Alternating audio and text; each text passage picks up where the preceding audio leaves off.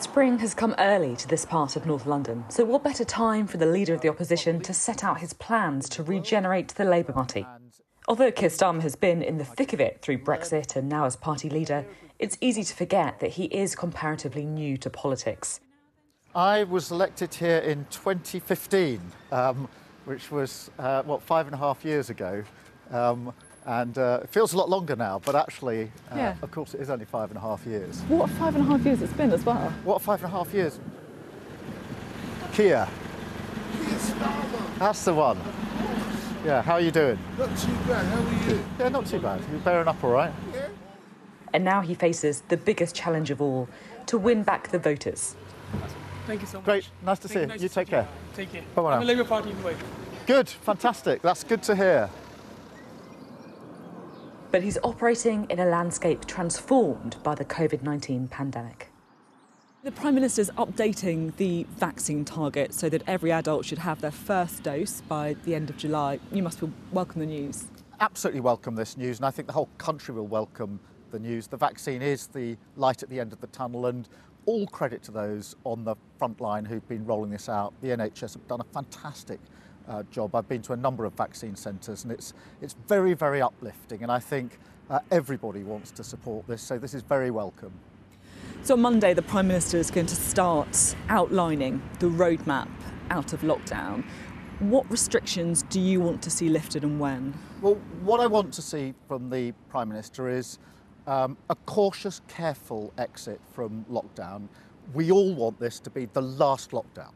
So we've got to come out of it in a measured way that makes sure that in a, we're not back where we started in a number of weeks or months. So roll out slowly, carefully, follow the science. I would say to the Prime Minister, publish the science. I think that will give great confidence to what he has to say uh, on Monday when he puts out the roadmap. I think the other thing is recognise that because there will be ongoing restrictions of some sort, businesses desperately need more support. It's one of the reasons we've said that the business rate relief should go on um, for another six months. VAT um, should be reduced in key areas such as hospitality.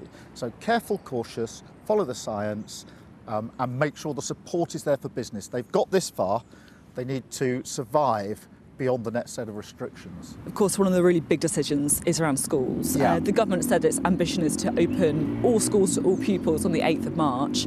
Teaching unions have said that they are worried about that. They'd prefer a more staggered approach. Which side is right? Well, ideally, I'd like to see all schools back open on the 8th of March and all children back in schools on the 8th of March. I've been worried through the pandemic, a number of people have, about the impact of being out of school has on particularly vulnerable children, and the attainment gap is getting bigger. So, ideally, the 8th of March. We'll have to see, obviously, where the data is, see where the science is, but that's what we should be working towards. If that means more testing, if that means Nightingale classrooms, if it means other measures, let's do that because I want to get our kids back into school. So, the teaching unions who are saying that it should be staggered, it should be different year groups, you don't support that? Well, ideally, uh, we want to see all those children back on the 8th of March. That's what the Prime Minister said would happen. We're going to have to go carefully. Of course we are. We're going to have to look at the detail and the data as we go into those uh, weeks just before the 8th of March, see where we are on the infection rates. But, you know, I've always been concerned about the impact on children being out of school. But, you know, actually I think if we do this together, we can get through this. Um, another um, big issue some people are talking about is this idea of vaccine passports. The idea that you would need a passport to go into a pub or into a restaurant. Is that something that you think is a good idea?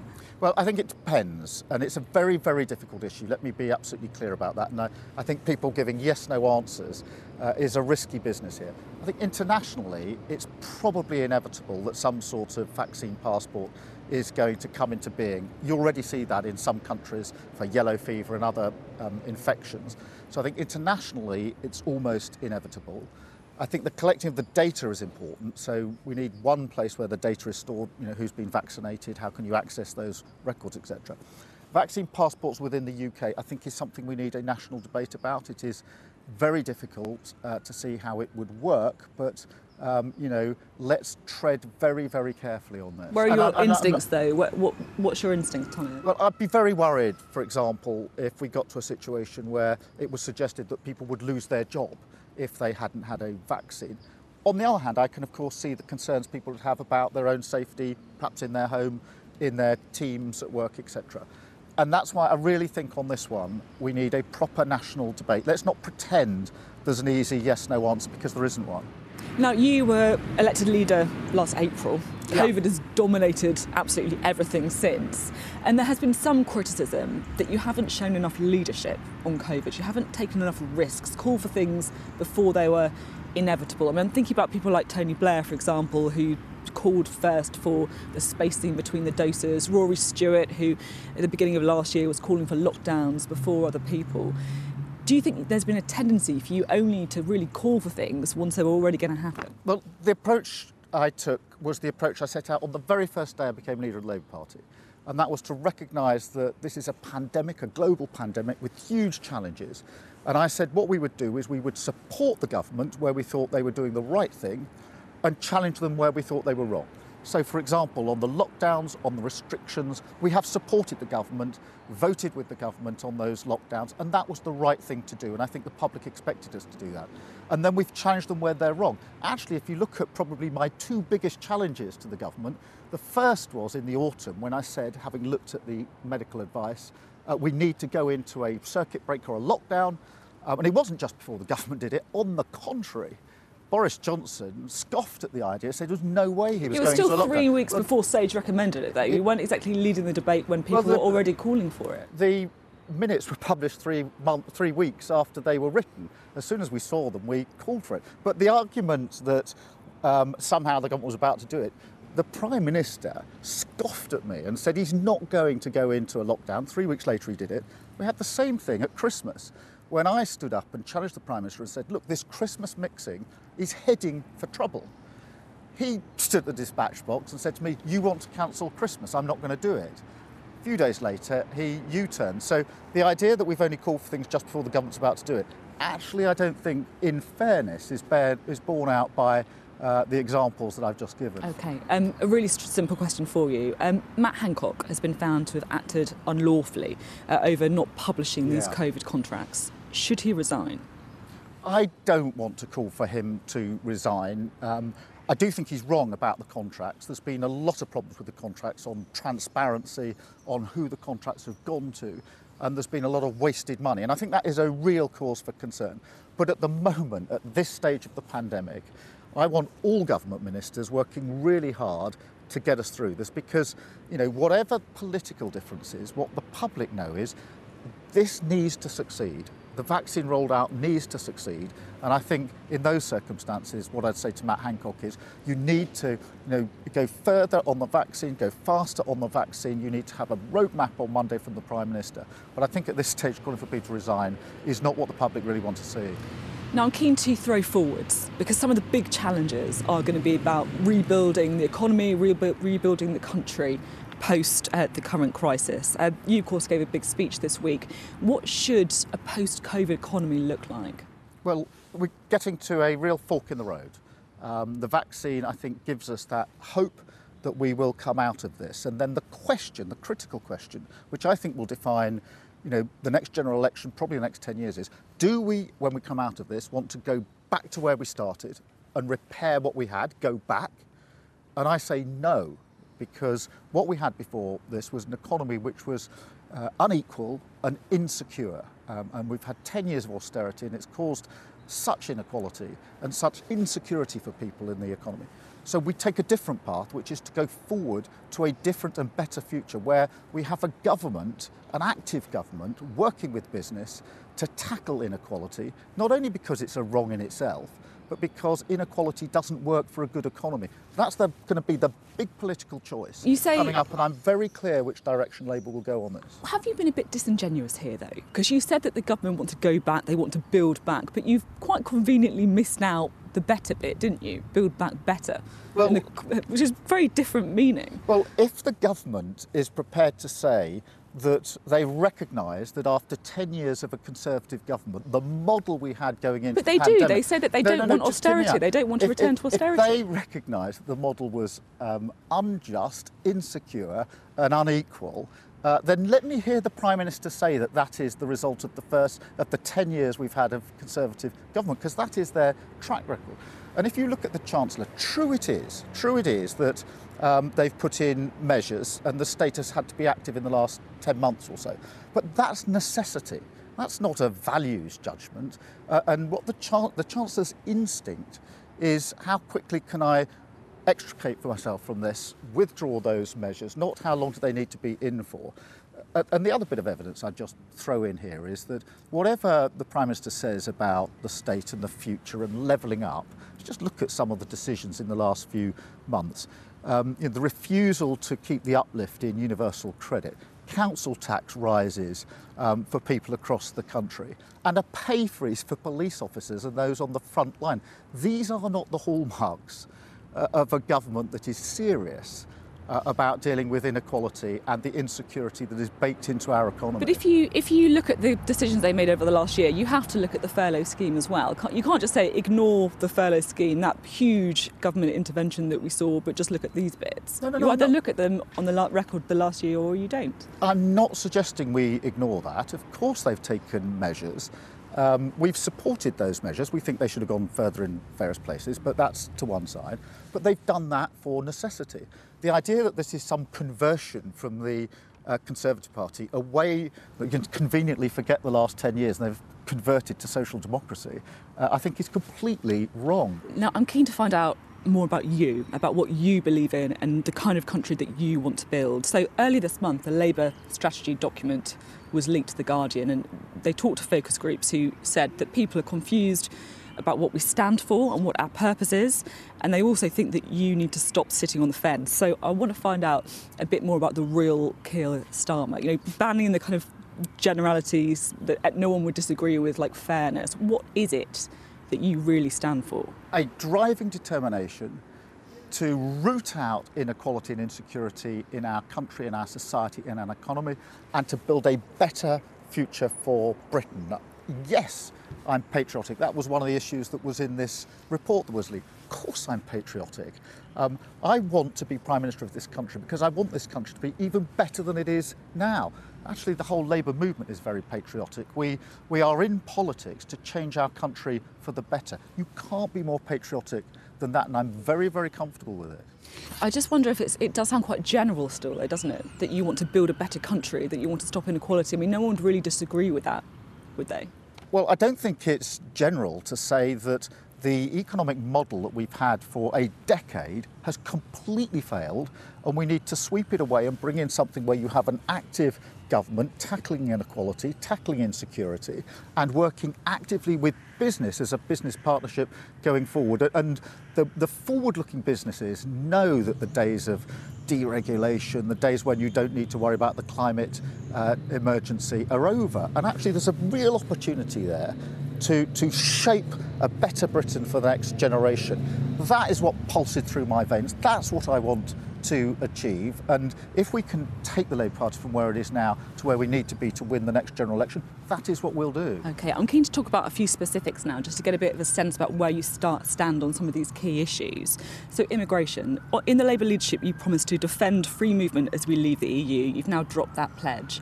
Well, so, we've left the EU and free um, movement has gone, is the reality of the situation. And we'll, we'll face a different situation in 2024 because we have left free movement has gone. But would you like to have free movement? Well, we're going to have to have a fair and humane immigration system, and we will set out what that is in 2024. But uh, free movement has gone, and, and you can't flick a switch uh, on this. Free movement depended on membership of the EU, depended on membership of the single market, uh, and we're at a different place now. How about drugs? Do you think there's a case for decriminalising cannabis possession? I've never subscribed to that view. I've, uh, when I was director of pro- uh, public prosecutions, I prosecuted many, many cases, or my team did, uh, involving drugs and drug gangs and the criminality that sits behind. Um, and it causes huge um, issues uh, to vulnerable people across the country. So I've never gone down that route. Um, there were some initiatives in some parts of the country where cautions were given for low level crimes. I think there may be something in that. But in principle, I've seen too, too much of the damage that sits behind drugs um, for uh, me to go down that route. So the current policy you think is roughly right? Well, it's roughly right. Of course, you know, um, there's always room for a grown-up debate about exactly how we deal with these cases. But what sits behind uh, drugs is the criminality, the gangs, and you know, uh, if I look in my own constituency at some of the issues in relation to knife crime, which is blighting the lives of young people, sitting just behind that are county lines and drug running, and that's the kind of impact it has on our society. Um, how about um, trans issues as well? Do you think that trans women should have access to women only spaces such as um, prisons, for example, or toilets or refuges? Well, look, trans rights are human rights, and, and the trans community are amongst the most abused and discriminated of any community, and we need to absolutely understand that and have a grown up discussion about how we go forward. I don't think we're in the right place on trans rights. I think we should go further than the current legislation. But what I don't want is this war that's going on at the moment by you know, two different groups fighting each other in a way that we can't make progress. So you say you want to go further. In what way? Well, I think that if you look at the legislation that's in place, it, the, the processes and procedures are demeaning. Um, and there's too many stories of how demeaning it is that I've heard for myself. We must be able to do better than that. I have, of course, um, dealt uh, when I was Director of Public Prosecutors with many women who've been through um, domestic abuse, domestic violence, etc. And I know how precious some of the spaces are uh, that they need um, to be secure, uh, to be safe, and and therefore uh, there are no easy answers here. And as I say, just just taking lumps out of each other, pretending there's a yes/no answer to everything, I think is wrong. Now, just before we finish, uh, Lisa Nandy said in an interview uh, last month that Joe Biden is a woke guy whose victory was a source of hope for Labour. Are you a woke guy? Well, I am a what I think about President Biden is the values that drove him through his campaign and the values that he's putting on show as uh, a president. And I, I admire those values. I think it's a shot in the arm for, um, for global politics, shot in the arm for politics here. Um, and I'm, I'm a values led um, person, and I think that is what Joe Biden is. And is that a woke guy? Well, look, it's a values-led uh, person, and um, just banding words around don't help. I'm values-driven. I'm utterly determined uh, that we can do something to tackle inequality, to tackle insecurity, um, and that we can do that sooner than we think if we uh, pull together as a party, pull together as a movement. We obviously lost very badly in December 2019. I am convinced, and I'm fighting every day, week, month, and year into 2024, uh, that we can turn this around um, and bring a Labour government in in 2024 and make the difference we need for our country. I mean, some people would say, though, that you know, you say you can turn it around, but we've had 116,000 deaths related to COVID, the worst economic hit since the Great Frost in the early 1700s, and yet you're still behind in the polls. Well, look, we're living through a terrible pandemic. A year ago, I was in the leadership race to become the leader of the Labour Party, and journalists were saying to me, is the Labour Party even going to survive, Keir? Um, so that was the challenge put to me 12 months ago.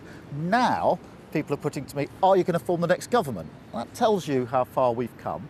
Did I think this was a one year project that we could turn around the worst loss since 1935 in 12 months? No, I didn't. Do I think competence is enough? No, I don't. Do I think it's a four year journey? Yes, I do.